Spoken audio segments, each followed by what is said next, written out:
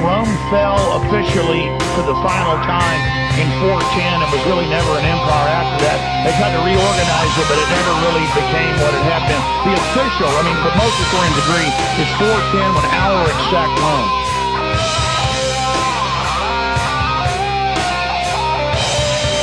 And I thought no one as bad as the uh, mental case Catholics run it all through. Which you have the emperor continuing up until like the mid 600s or so, right? Well, those were, yeah, the, the Holy Roman Emperors, yeah.